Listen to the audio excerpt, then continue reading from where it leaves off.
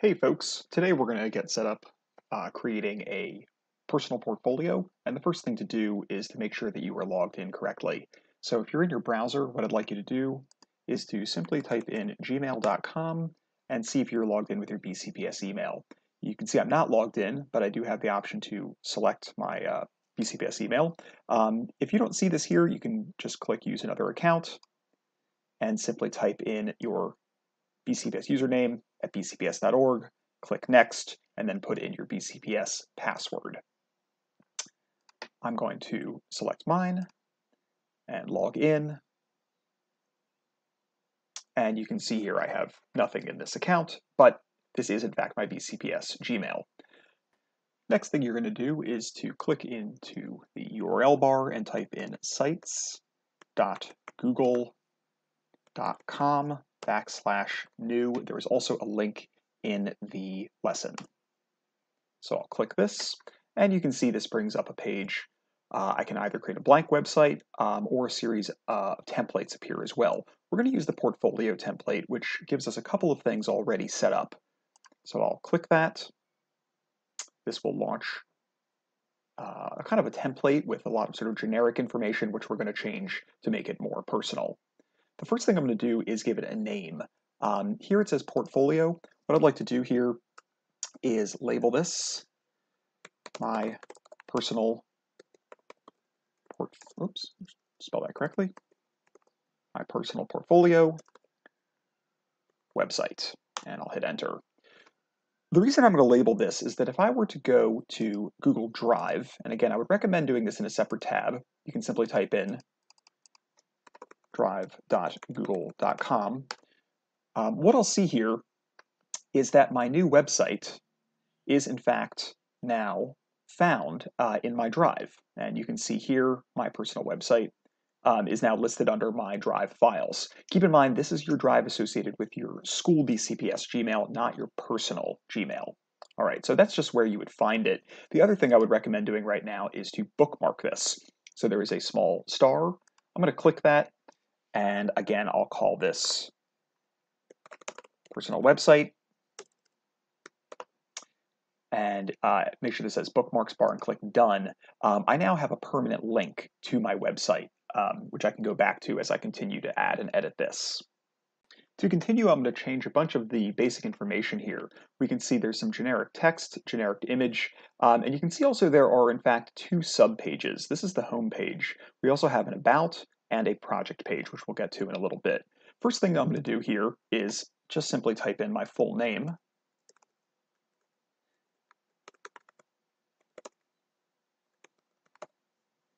And then I'm going to uh, replace this here with a title for the page.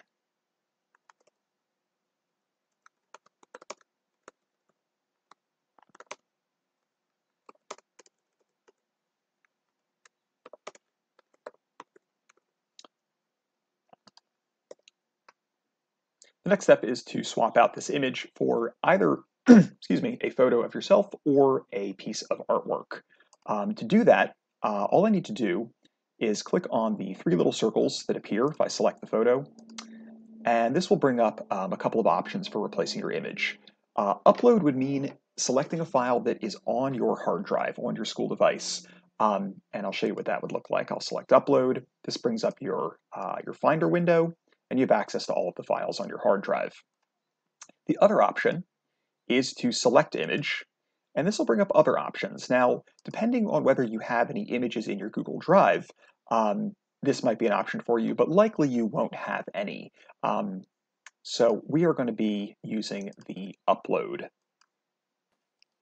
Once I select upload, you can see I can navigate to an image to place next to my page title. So I can uh, navigate to a folder with artwork. Um, if you have uh, video clips, that would be something you would want to save for another part of the site. So I'll select an image and click open and you can see it replaces it. I'm going to make a couple of adjustments to the way the page looks here. And so the first thing I'm going to do is take my uh, title and I'm going to grab the little bar at the top here and move it so it's now above my photo. And I can just drag this also into the center. Um, if I want that bar to be a little bit bigger, I can just grab these edges. This works uh, very similarly to um, PowerPoint. And I'll move this over a little bit as well. So that's looking pretty good. Um, I'm going to do a couple of things now on this page before I move into my About and Project pages. One thing I can do is play around with the look of the page a little bit. You can see on the right side we have an option which uh, a tab called themes here. Um, the default is called simple. Um, I'm going to scroll down here and click on level, and you can see that a couple things have changed: the background color um, and uh, various other you know font changes. Um, you'll notice also there's a couple of checkboxes here below, um, and as I cycle through these, you can see um, a couple of things change uh, about the basic design. I can also select font uh, to some extent here, although it's it's somewhat limited um, in terms of the number of things you can adjust here. Um, this is looking pretty good though. If I select the title bar here, let me stretch this back out again. Uh, a couple things I can also do inside this bar are change uh, the look of that title. Um, you really only get sort of four sizes here, but uh, I'm going to stick with title for this section here. I can make it bold as well, but you can now see that it now no longer fits. So perhaps I'll keep it unbolded. If we scroll further down the page here, um, what you can see is that there are uh, a couple of different places to insert media, um, given that this is a template. In fact, what we're going to do is get rid of these sections um, and add in our own. And so you can see if I uh, click on the delete section here, um, that first set of uh, places to input media will disappear and I'll do it a second time. Um, what I'm going to do now is click on the insert link on the right and you can see I can design my page any way that I want. I'm going to select the four side-by-side -side images, that's this one here, and you can see that now it gets added. Um, it typically adds it at the bottom and so you can see I've got uh, things like my contact info um, higher up to move this, I'm just going to grab the bar on the left and slide this so it now sits just below my main image. Um, by clicking the plus, we'll have a similar set of options as we had before. Um, I can upload media from my uh, device. I can select an image uh, from my Google uh, Drive or from Google Image Search. Uh, and our third option is to select something that exists already in your Drive uh, account. Uh, you can also link YouTube videos if you have videos uh, already uploaded. I'm going to click Upload and start to upload various pieces of art. Now, these, at this point, could be uh, JPEGs or animated GIFs. Um, videos have to be uploaded to YouTube or put into your OneDrive, and I'll talk about that at a later point. So I will select a couple of images here. Um, select one here, and you can see that now loads. I'll click the next plus, and again, upload.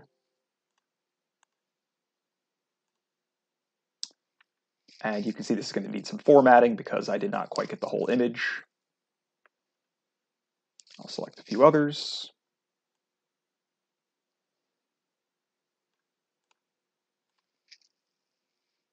And if you decide at any point, let's say you only wanted to do three, um, I could always select this box and get rid of it. In fact, that probably makes sense because what I need to do at this point is to actually expand these um, so that the images uh, sit nicely next to each other.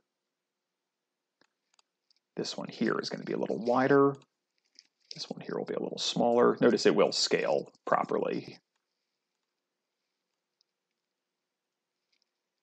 And so given that this is sort of a panoramic shot, this is probably not going to show the entire thing. Um, and these can also have captions added, but that is optional.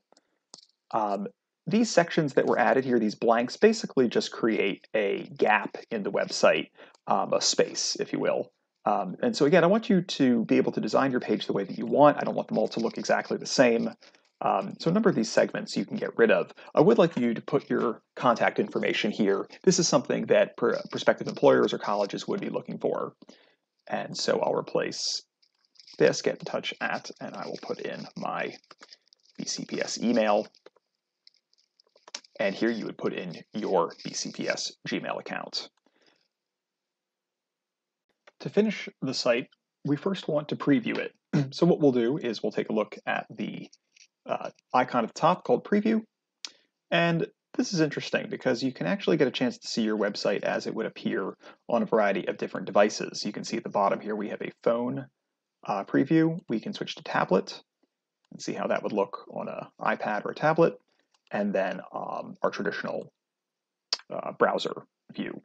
Um, once that looks the way that you want, you can click X to go back to your editor. Next thing we're going to do is click on the publish icon.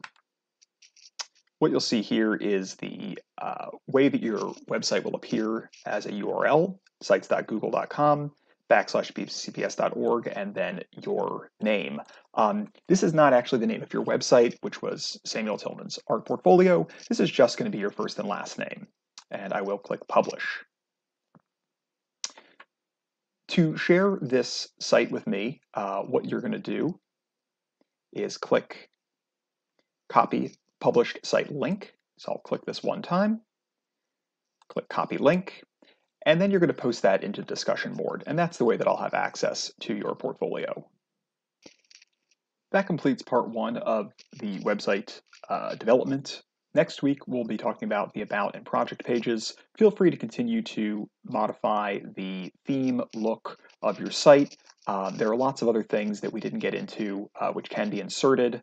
Um, image carousels, buttons, and all kinds of other things uh, that you might find interesting. Um, so feel free to just explore these, and there are plenty of other videos on YouTube which get uh, quite a bit further into Google Sites. Uh, but at this point, this is sufficient for the project this week.